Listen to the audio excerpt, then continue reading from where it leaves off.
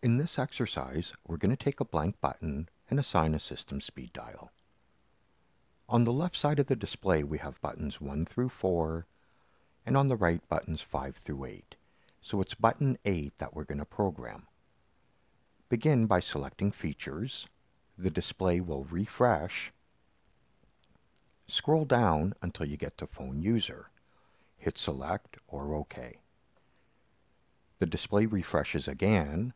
Scroll down to Self-Administer and hit Select or OK. If prompted, enter a security PIN that you would get from your telecom provider. Select Done or OK. The display refreshes to show our button assignments. Scroll down to button 8, the button that we would like to program. Select Replace, and it brings up a menu of features that you can assign to the buttons. I'm going to scroll up to select User BLF or User Busy Lamp field. Hit Select and enter the extension of the party that you want to appear on the button.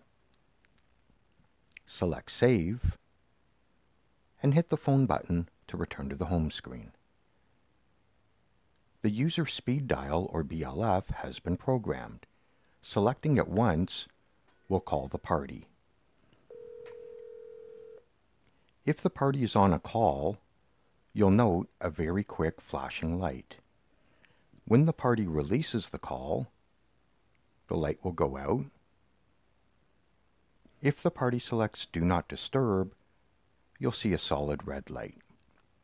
When they disable Do Not Disturb, the light will go out.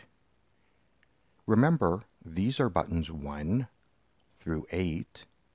You also have buttons 9 through 16 and buttons 17 through 24 that can also be programmed.